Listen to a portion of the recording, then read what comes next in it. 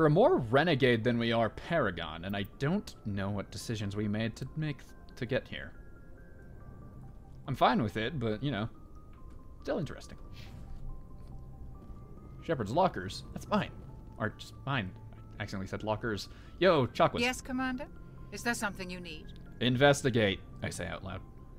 Uh, do you mind if I ask, who, like, who the hell are you? How did you end up serving on an Alliance ship? I enlisted right out of med school. Earth always sound seemed like it. boring to me. Too safe, too secure. I figured the colonies were teeming with exotic adventure. I wanted That's how to you did a- travel the stars, that's how you get a dead squad. the wounds of tough soldiers with piercing eyes and sensitive souls. Turns out military life isn't quite as romantic as I'd imagined. But humanity Yeah, needs that's- the that's what I thought on Akuze. keep expanding through the traverse. Akuz, And the alliance always needs good doctors.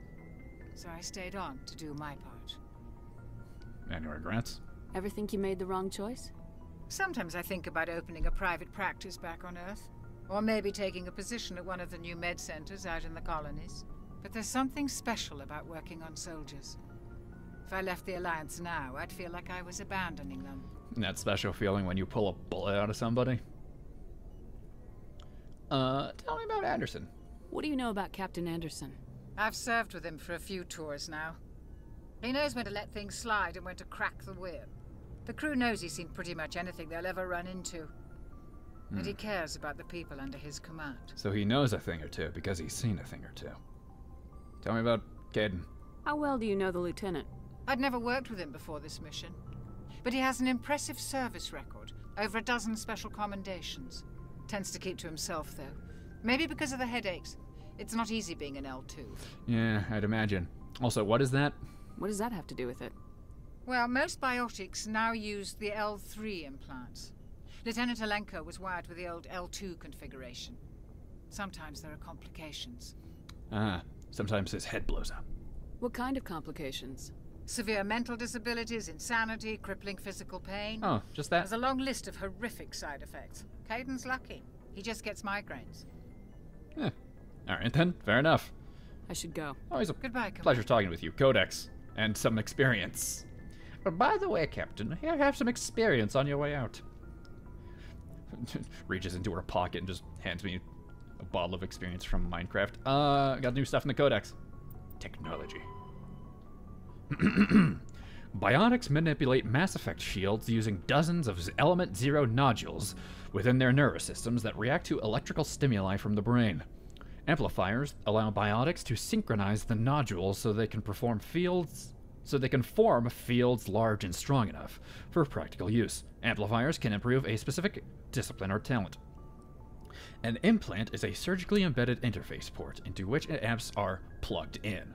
On humans, the implant is usually placed at the base of the skull for convenience, convenient access, though the user must be careful to keep it free of contaminants. Implant ports can fit a variety of amps, and there is a growing market for modifications and add ons. The finest quality implants and amps are manufactured by Asari artisans, but the Alliance's L3 implants, deployed first deployed in 20,170, are a significant step forward. Neat. Neat. What's in my locker? Oh, it's obviously my Scimitar, my Avenger 2, and the Hammer 3. I can't not take them. Alright, take them, I guess. New stuff in the Codex? New stuff in the Codex. Systems Alliance, N7. Alright, the timeline. The Alliance Military Vocational Code System classifies the career path of all serving personnel. The MVC consists of one letter and one number. Uh, like 2B. 9S. A2. C9. Uh. A soldier's MVC indicates proficiency, not rank. The letter notes career path. The number indicates level of experience as indicated by service record. Technical scores and commendations. All 26 letters are used, and the numbers run from 1 to 7. N is the letter code for special for, uh, special forces personnel. So we're pretty good. We're pretty we're pretty we're pretty uh proficient. Hmm, apparently not in we're not proficient in the way that vocal words happen. Speaking. Oh my god. Hey, what if I come in? Ooh, RTX enabled. Okay, I say that, and then my shadow, shadow is floating. and that's actually pretty sick. Yo! Go speak to Joker when you're ready. Tell him to bring the Normandy into dock. Wha- Thi- don't climb the. This is the worst. But do all of our beds look like this? Like two beds just slapped against each other? Like we're in a 50s sitcom or what have you? Like. Ah. What are there like straps on each side so you don't like try and roll over into the middle there? This place sucks. Oh, I could even see the reflection. Oh, I could even see the door open. That's neat. In the reflection. I'm easily amused. Let's take this elevator, see where it goes. We have more people to talk to.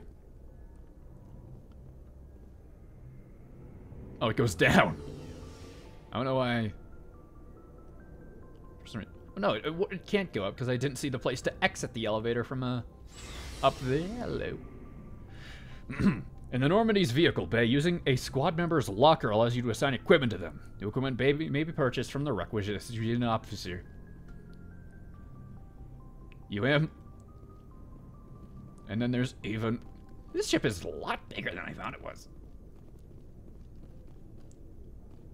Alright, so there's where Kaidan's locker is. There's some snipers and shotguns and s- pistols and short rifles. There's a really big inspect codex. All right, into the co- nope, into the codex.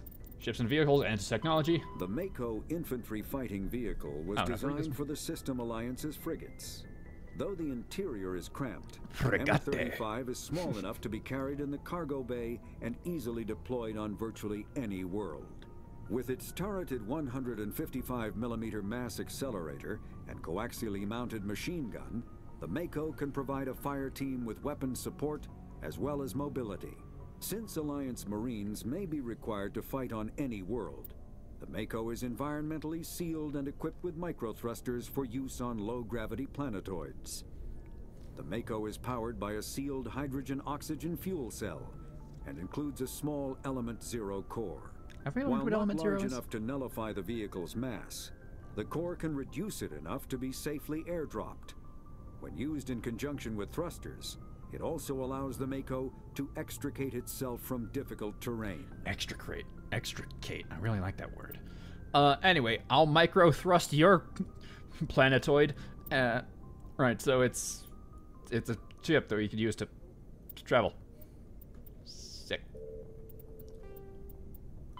Biotics is Oh. the ability of Here we go. rare individuals to manipulate dark energy. Dark energy? Mass effect fields through the use of electrical impulses from the brain. Intense training and surgically implanted amplifiers are necessary for a biotic to produce mass effect fields powerful enough for practical use.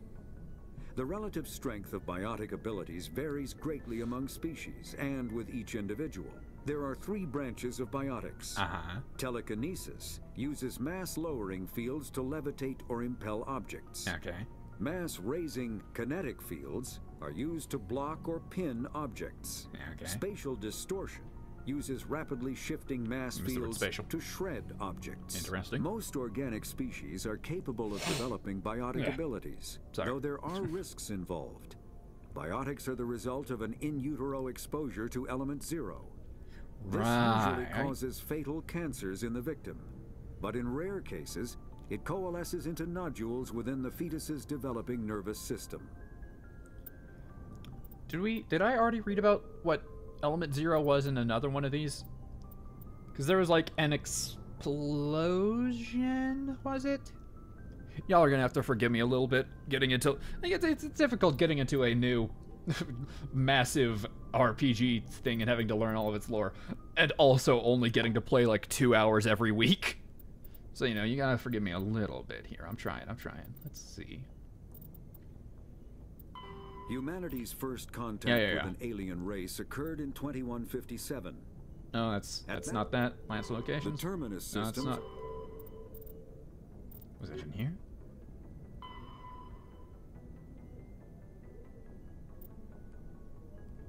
Ooh, right here.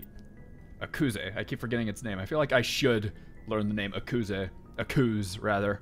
Just so I can make references and jokes about it. Thresher Maws. So giant worms were the thing that killed him. Hmm. I'll try and remember that. The timeline. First human settlement on Luna. Eldfell Ashland Energy Corporation eh, no. Is there like a. Here we go.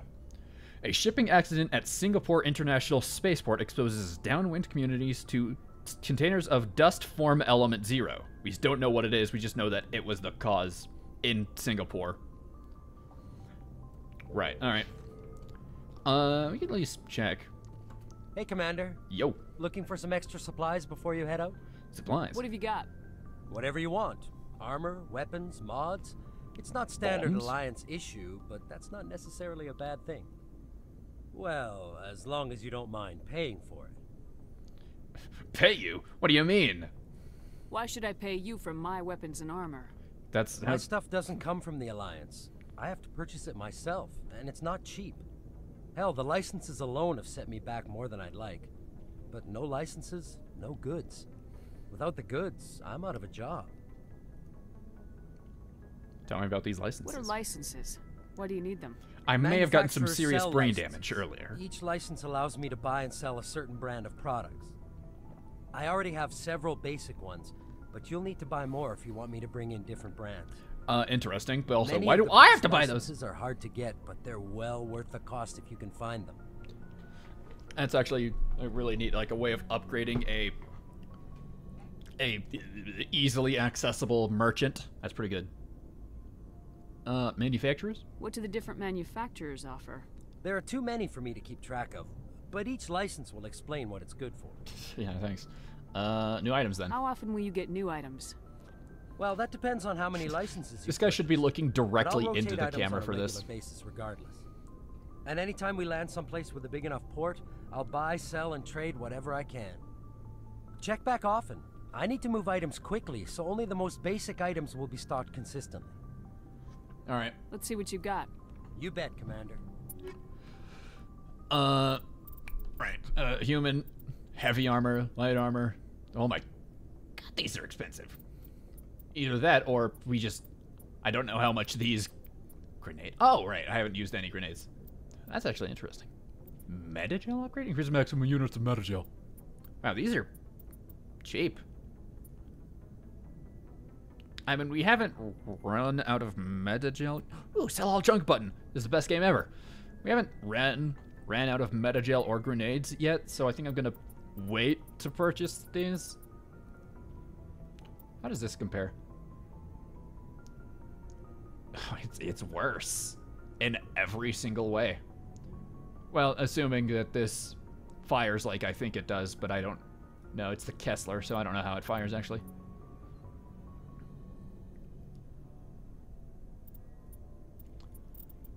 What do we got that you Should I I feel like I I don't know. I don't want to sell anything yet, I don't think. I don't know like I don't know what our squad's to be like. And it feels Oh, there's a buyback button. Uh uh, back to the codex. I don't know what the their equipment needs are to be, so I'm to uh, not sell anything uh, yet.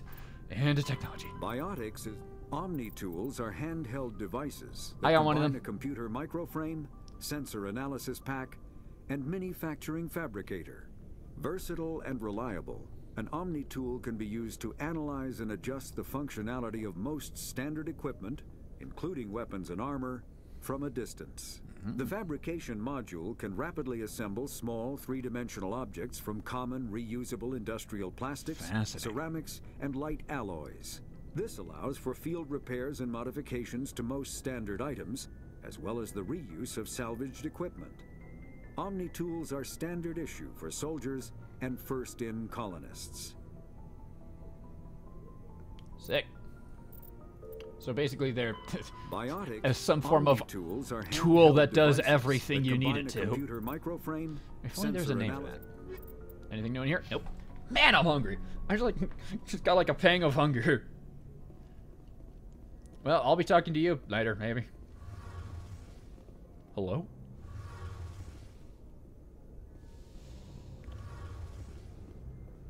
Well, well, well. If it isn't whatever that thing is. It feels like a bad idea. Like, there's, like, pathways right there, but, like, or not pathways, uh, railings right there, but, like, not any, like, right here. Seems short sighted. I'll examine this and get some more stuff in the codex. Element Zero Core, I'll examine that, get more stuff in the codex. I'll talk to Engineer Adams. Shame about Jenkins, Commander. Truly. Shame about Jenkins, Commander. Y'all don't get, like, chairs? Do you mind if I read some lore in here?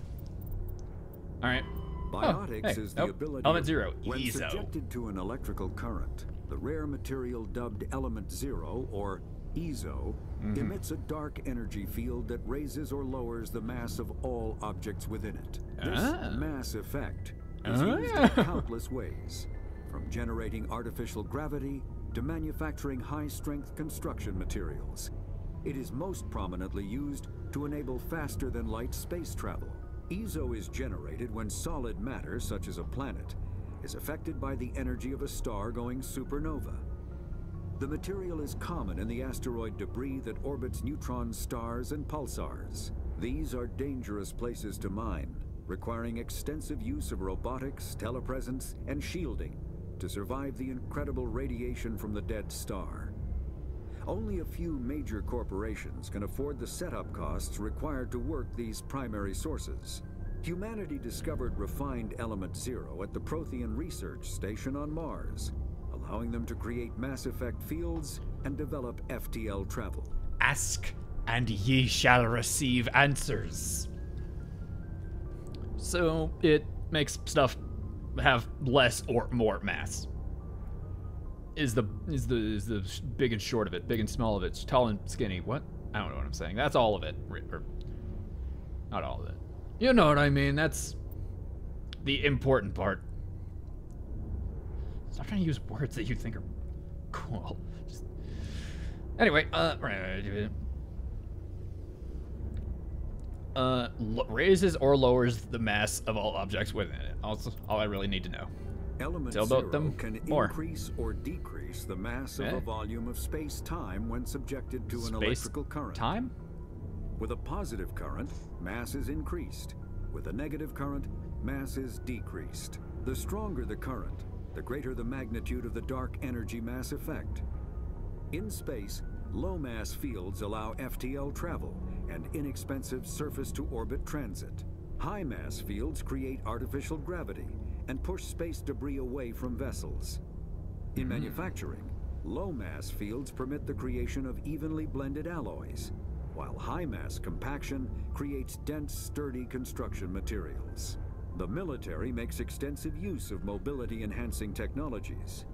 With Mass Effect utilizing fighting vehicles standard frontline issue in most military forces. Mass Effect fields are also essential in the creation of kinetic barriers or shields to protect against enemy fire. Sick. So it makes it lighter to fly. It makes it heavier to, so we could walk on stuff. All right, that's really cool.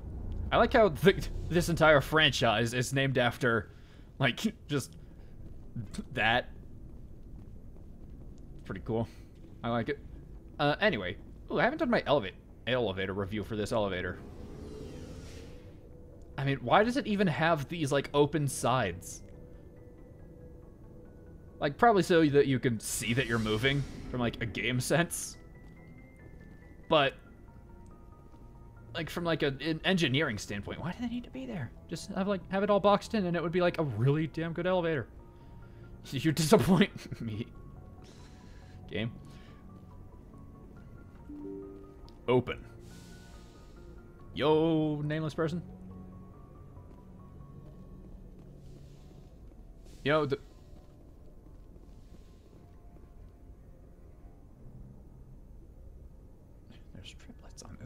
Quadruplets on this ship. Pressly? I'm glad you're okay, Commander. Losing Jenkins was hard enough on the crew. Certainly. Uh, Nav Manuel. New stuff in the codex. Yeah, alright. Nope, not the button. Humanity and. Oh, God. Systems Alliance military jargon. Oh, God. Here we go. Ashore. When a ship's crew leaves the vessel, they are ashore. Though Normandy used regarding planet. What? Normandy? That's not the word. Normally used regarding planets, it can refer to boarding a space station. That's easy enough to understand. Away. When a ship releases the equipment tailoring it to a space station or service dock, it is away. Okay, yeah, makes sense. aye aye. This, is just pirate shit. The proper way to acknowledge an order. If told to attack, the correct response is aye aye, sir. If asked, are you proud to be a Marine? The correct response is yes, sir. Aye aye. ASAP, pronounced ASAP, an acronym of as soon as possible. Oh boy. Belay, stop, stop, cease. I like belay. Belay is a good word. Bridge, the navigation part of the center of the spacecraft. Where the steering is did. Captain's mast. This is. I'm being pranked right now. This is just. This is just ship lingo. Captain's mast. Non-judicial discipli- disciplinary proceedings by unit commanders. CIC, Combat Information Center. Uh, that's. I don't think pirate ships have that one. The command center of a spacecraft. The CIC is filled with sensor displays to make sense out of the chaos of combat. All right. DC stands for uh, Detective Comics or Damage Control, the containment and repair of damage to a spacecraft. All right. Sure. ECM, uh, electronic countermeasures used to avoid enemy sensors from passive emissions, masking to active jamming. All right. EVA, extravehicular activity, time spent in a pressure suit, outside of a vehicle, spacecraft, or station. All right. So it's extra in the sense that it's not intra. Because, like, intra vehicular activity in that case would be doing activities inside a vehicle. It's like in the term extricate. I see. Flank. Oh boy. The flank is the side of a military formation. Since the soldiers are facing elsewhere, an enemy shot that can attack the flank is often turn it or roll it up. Oh, right. An enemy attack that can attack on the flank can often turn it or roll it up, aka the ship. So you could turn the because the shot damages the it turns the ship. F and G freaking new guys, a derisive term for inexperienced personnel. totally not me. I totally a commander. Ground side, the surface of a planet. Makes sense. Helmsman, the crew member who pilots a spacecraft. Why not just pilot? It's shorter. LADAR, light amplified detection and ranging, an active sensor that bounces lasers off an object to determine its bearing and distance. LADAR has a sufficient resolution that the data can be reconstructed into an image. Don't we uh, don't we have this in real life? I think it's called lidar. I think LIDAR, I think I talked about this, but I'm still going to talk about it again because it's the, word right there. A shore party spacecraft crew sent ashore on official business. You can see that the uh, vocabulary terms are being used in the in the vocabulary terms itself. This will be on the test later, so you better all be writing this down, taking notes. I do want you to know how to spell all of these. Silent running, an old submariners submariners term used aboard the Normandy to denote when stealth systems are active. All right. SITREP, abbreviation of situation report, and evaluation of the current military situation. Spacer, someone who has spent most of their time in space. XO, executive officer. Should it be EO then? the second in command of an alliance warship. The XO is responsible for administrative and personnel matters. Ah, so the boring job. That's it. It's actually fairly useful. I feel like I could have deduced what most of these mean, but still useful. Uh, is that it? Is that all the new ones? That's all the new ones. All right. Joker's down that way. Anybody here wants to talk? Door. It's the door. Right, and in here is this room. FTL. All right, we're gonna get more codex stuff. Technology. Oh boy, communications. Oh, there's a lot. There's four paragraphs. Real-time communication is possible thanks to networks of expensive, expensive mass relay comm buoys that can daisy chain a transmission via lasers. That's just a cool sentence.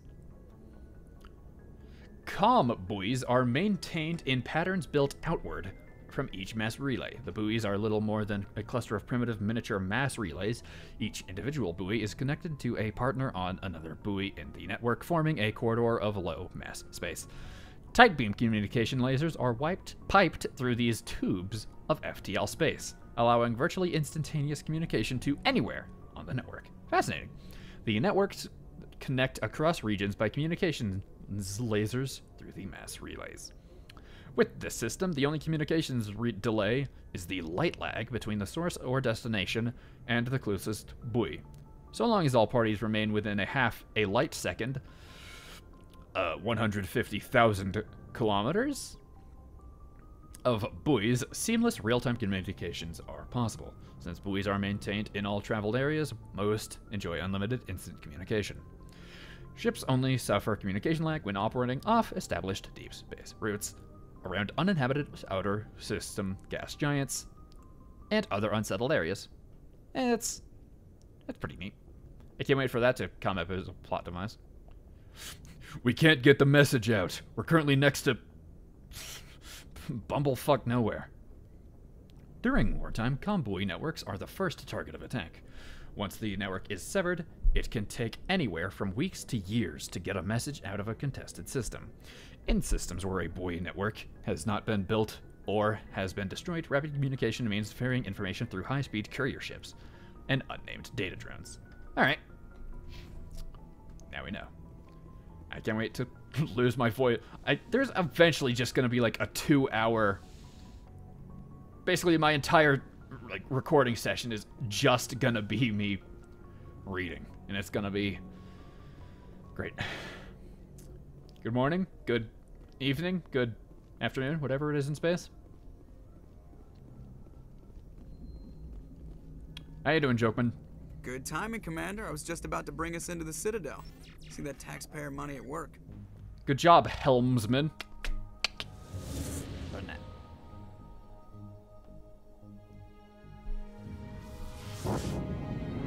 What's up?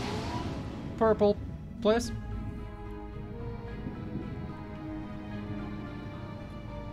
I like the triangle on top. That's character.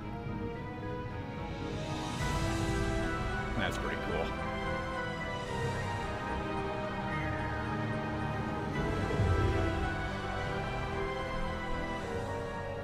Look at the size of that ship. The Ascension, flagship of the Citadel fleet. Well, size isn't everything. Why so touchy, Joker? I'm just saying you need firepower too. It probably has it. Look at that monster. Its main gun could rip through the barriers in any ship in the Alliance fleet. Good thing it's on our side then.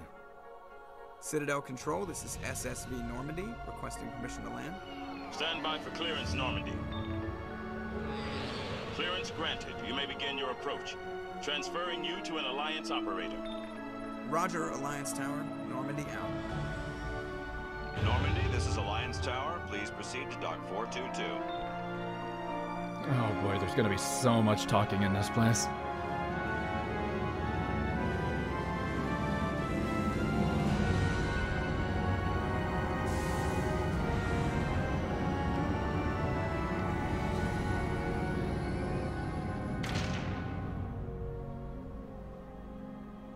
Ooh. This is an outrage! The Council would step in if the Geth attacked a Turian colony? The Turians don't found colonies on the borders of the Terminus systems, Ambassador. Humanity was well aware of the risks when you went into the Traverse. What about Saren? You can't just ignore a rogue Spectre. I demand action! You don't get to make demands of the Council, Ambassador. Citadel Security is investigating your charges against Saren. We will discuss the C-Sec findings at the hearing, not before. Captain Anderson. I see you brought half your crew with you. All the Just the ground ones. team from Eden Prime. In case you had any questions. I have the mission reports. I assume they're accurate? They are. No, we just we're just lying Sounds through our like you teeth in convinced all of the them. council to give us an audience. They were not happy about it. Saren's their top agent. They don't like him being accused of treason. We could head back to Eden Prime and pull out the bullets of uh whatever his name was. I forgot it again. Uh, there, he- it's the truth. Saren's a threat to every human colony out there. If they don't stop him, I will. I said that. Settle down, Commander. You've already done more than enough to jeopardize your candidacy for the Spectres. Eh. The mission on Eden Prime was a chance to prove you could get the job done. Instead, Nihlus ended up dead and the beacon was destroyed. That's But I saved Eden Prime, at least that city. Then we better hope the C-Sec investigation turns up evidence to support our accusations. Otherwise, the council deactivated might four use this bombs. as an excuse to keep you out of the Spectres. Come with me, Captain. I want to go over a few things before the hearing. Shepard, you and the others can meet us at the Citadel Tower, top level. I'll make sure you have clearance to get It'll in. little, literally be like eight hours from now. And that's why I hate politicians. That's a good enough reason for me. Important locations are marked on your map. Press M to access it. M. It makes a funny noise when I do that. And There we go. Here's the drag the map. We are here. And there's Udina's office. And there's some Volus and Elcor offices. And some more stuff. And there's path down. And there's a 2T Sec Academy. And then there's Consort Chambers. And then there's the Davina. And there's also... Uh, what? Do you mind? I was in the middle of a map. There's an emporium, and then there's a bank. And then there's more stuff.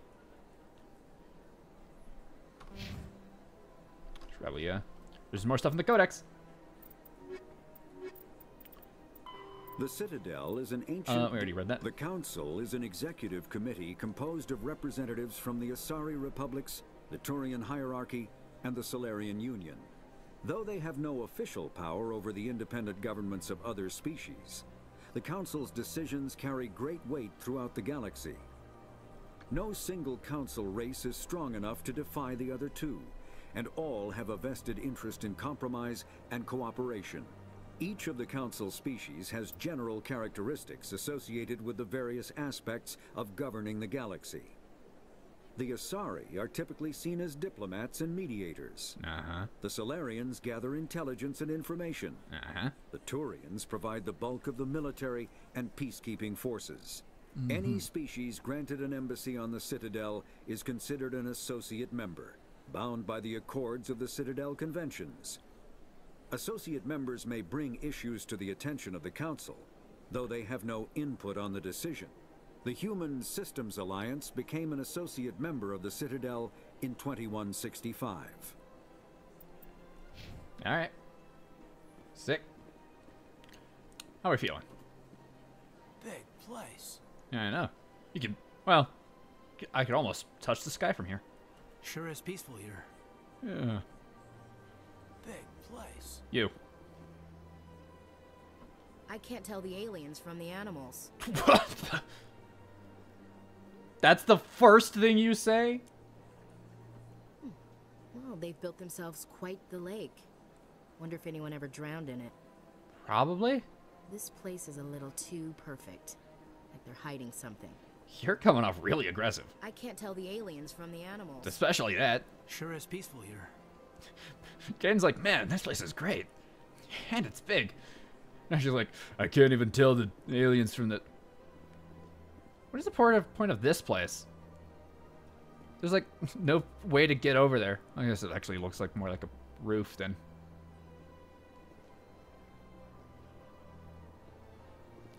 Alright, let's do some exploring then. Uh, first, let's do some, uh, saving. Last save was on Eden Prime. Uh, journal, right. Citadel. Expose Saren. You have to prove to the Citadel Council that Saren, one of their Spectre agents, has gone rogue. Will do.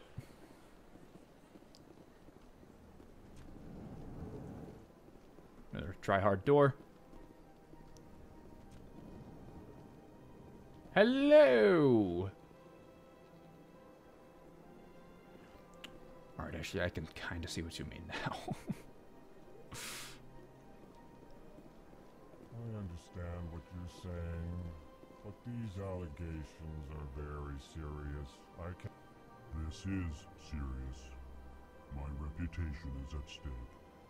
I spoke with the consort in confidence, and her alone, and she betrayed that confidence. All right. I will look into it for you. In the meantime, do not do anything rash. What up? It's me.